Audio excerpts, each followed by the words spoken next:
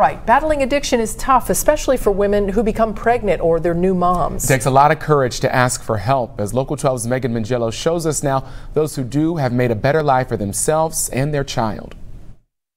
Amber's addiction started with abusing prescription painkillers. She succeeded in quitting opioids when her first son was born, but relapsed. I was using every day. I was taking care of my son, but I was not at my full potential as a mother. I was getting aggravated easy. I would drag him along on things that he shouldn't have been dragged along on, and I just wanted I wanted to get help. I wanted to be a better mom. Wanting to get help, Amber first came to Brightview in 2015.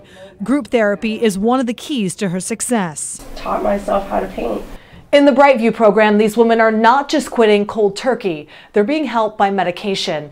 They're being prescribed a pill called Subutex um, and it's perfectly safe for the baby. Um, it's actually, it's good too if they breastfeed afterwards. It's a natural way to kind of wean the baby off of the medication. Brightview's three-step program includes medication, therapy, and support from a personalized case manager. When you find yourself in that situation, pregnant and using substances, like you're scared you know? Um, so to be able to come to a place and meet other people that are going through that similar thing or have been through that similar thing um, is just very refreshing. Kelli Achberger is a peer support counselor. For these women recovery is a daily commitment. I'm not i'm not the best mom in the world but i take care of my kids you know, when we wake up, we eat breakfast. We're not going to look for mom's fix. Now Amber is living her best life with her boyfriend and two sons. That life includes continuing therapy and getting help.